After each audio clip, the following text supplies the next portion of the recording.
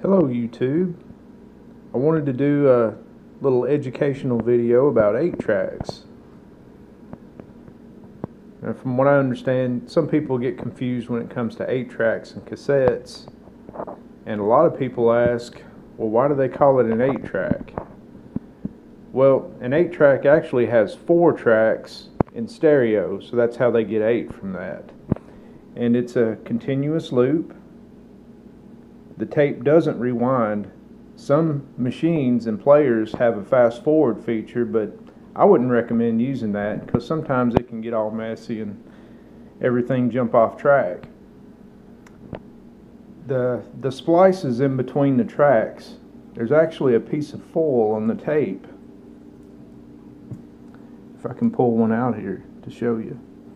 I've got a mess.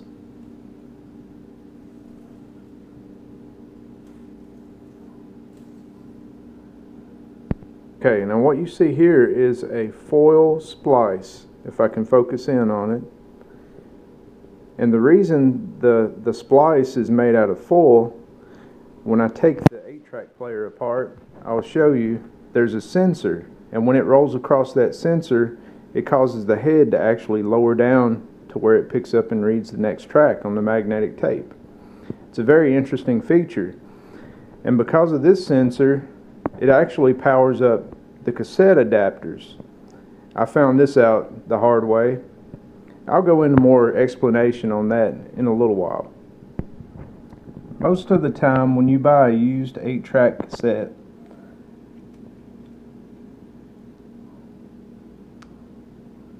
this is a problem. Now this is called a pressure pad and it actually helps keep tension on the tape when the head is pressed against it to play. This foam is always worn out and sometimes the trash gets caught up inside the cartridge. I found that the cartridges that have these metal pieces in, in place of the pressure pads actually work a lot better but sometimes the felt gets worn off of these and also that could get tangled up in the tape and cause it to come unwound. Another thing to inspect when you buy used 8-track cartridges, the rollers. If these rollers don't move freely, then they need to be replaced also. You can take the 8 tracks apart, and sometimes you can put them back together without any problems, but uh, there's been a couple of them that I've taken apart, and I've found that the prongs and everything that holds it together, I usually end up breaking as I pry them apart. I don't know, maybe you could possibly glue them back together after replacing the pads or maybe even the foil splices. But uh, sometimes it's uh, you're, you're better off just to throw the tape away and see if you can find another one. I know that some of them are extremely rare and getting harder to find all the time, but uh, I found that you know if I buy a bin full of tapes for twenty dollars, a lot of them play, but some of them I just throw away. If they don't work, I toss them out. Now, what I have here is two different cassette adapters. I bought I bought both of these used on eBay, and as you can see, this this one is gigantic compared to the other. And uh, they both work great. It's not a problem at all. This one's kind of neat because it's enclosed. It looks just like a, a miniature cassette player, but adapted to an 8-track on this side. And if, if you could imagine, you've got this much of it hanging out in your car in the dash, so that's that's kind of cumbersome in a way. But uh, still, I, I thought it was really neat and it works really well. One thing that I discovered is even though the 8-track player that I had in the dash of my car at the time didn't play 8 tracks, the cassette adapters would work. And I'll explain the reason why. If you remember earlier, I was telling you about the foil splices that runs across the sensor and this triggers the head to move up and down to different tracks. Well, the sensor that's inside the tape player there's a, there's a prong, and I don't know if these will show up very well on the camera, but this is also what powers the cassette adapter. I thought for some reason the mechanics that move the tape inside of the tape player also move the cassette adapter, but that's not the case at all.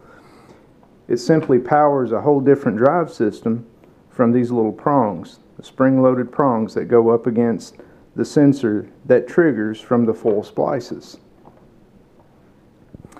I thought to myself, wouldn't it be neat if I could plug my iPod into an 8-track player? And it, I bought an adapter that you can see here for an MP3 player or an iPod. But it wouldn't work with this one because it's totally enclosed. And you have a cord here that's attached that plugs into your headphone jack. So this was the better option. This one is a Kraco cassette adapter. It has an open face and also this plugs in to your 8-track player and allows you to adapt to an MP3 player or iPod or your phone. I thought that would be a pretty neat feature. Adapt to an adapter to play in an 8-track. If you buy a used 8-track nine times out of ten, the belt is bad.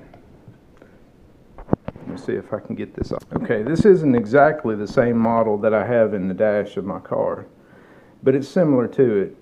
And you'll always find that these covers can come off fairly easy. There was three screws in this one. I had one here, one here, and also one in the very back. And after removing the three screws, the top cover come off that, without a problem.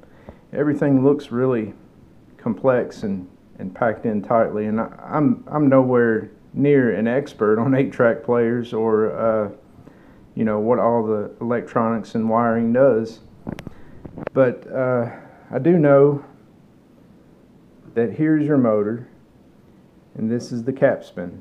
Capspan. I think I'm pronouncing that right. And nine times out of ten, if you buy one of these used, the belt may be stretched out or out of position, and it's it's really not that complicated. But if you need to buy a new belt, or maybe the old one's broken, be sure to look up the model number.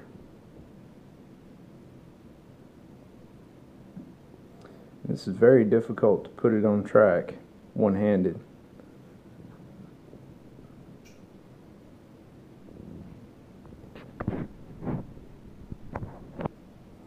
And there we go. As you can see, everything spins and moves. Now, I haven't tested this one. This this particular model was given to me, and it's an aftermarket uh, Cobra. It's not a not a factory eight-track player. Um, I did power it up, and I, I put an eight-track in just to make sure, and the motor and everything comes on. Everything spins, everything lights up and I can change the tracks. But I didn't hook any speakers up to it to see if it was actually playing. Uh, everything powers up just fine, so I, I assume that this one probably works as well. Um, I, I kind of want to keep this one as a backup. I don't think it would fit my dash because the knobs aren't adjustable. And uh, the one that I have in my car is a Sears Dashmate and the spacing of the knobs you can adjust further out or in depending on how your dash is made. So you don't have to cut up your dash or modify it in some way to put the 8-track player in. So I'm really interested in dead formats of music. I, I, like vinyl records, I like cassettes, and I also like 8 tracks. I have some fond memories of my dad playing the Beach Boys on eight track tapes.